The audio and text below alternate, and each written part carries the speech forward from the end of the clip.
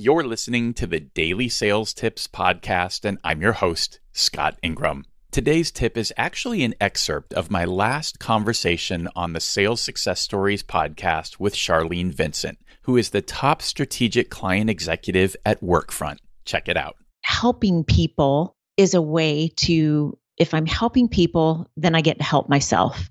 And so I do believe that the profession of sales if you believe that you have knowledge or a solution, a product, a service that someone else needs or an organization needs, and it will make their life better or their balance sheet better or their income statement better or individually, personally, you know, that person, if that makes their life better because you help them get better at what they do in the organization or emerge a hero in their organization, then you're helping them, then that helps me. And I really enjoy that. I enjoy being kind of a mentor, a trainer, and I've been able to do that at Workfront. I've built a brand here that all across the the company, whether it's other salespeople, product people, leadership, anybody, they will come to me and ask my opinion on stuff. And I enjoy that. I like strategizing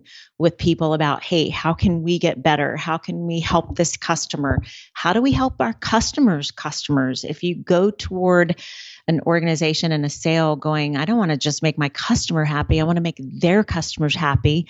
How do we do that? You know, how do we really help them make their customers happy. And it just that is motivational. I'm actually a certified life and leadership coach.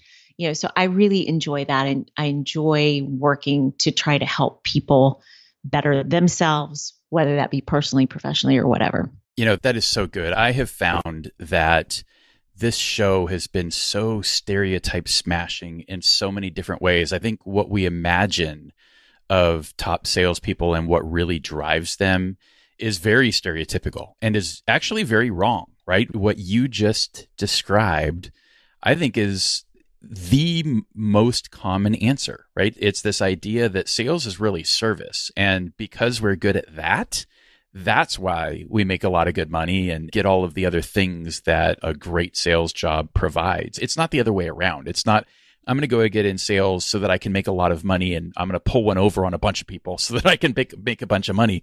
It's totally the opposite. Exactly. You know, because it goes back to that thing where I said I see my potential customers as people first and build trust. And I think the best salespeople out there, their customers and their colleagues you know, and their partners, you know, their solution advisors, their sales engineers, their team of people trust them. And I think that's what makes people good. And, you know, I'm going to act on the best benefit of my customer and of my company, but I'm not going to do anything. I'm going to be willing to walk away from something with my customer if I don't feel like I'm doing the best thing for them. And I have. I can tell you stories where I have walked away, you know, or I have said to a customer, if that's how you feel about it, I would rather you not do business with me, you know, because it's just not going to work out, you know. So I think that you're right. And and I've listened to some of your sales cast by the other incredible people that you interview, and it is a common theme, you know, of being of service and just understanding how you can help them help their customers and help them, you know, just be better and do better. I actually struggled to choose just one clip from this full interview, which was actually over 90 minutes long. So you might be hearing a couple more of these in the coming weeks, but you can always cheat and go listen to the full episode on the Sales Success Stories podcast. And as always, we'll have a link to that episode and a link for you to connect with Sharleen at dailysales.tips forward slash 494. Then come on back tomorrow for another great sales tip. Thanks for listening.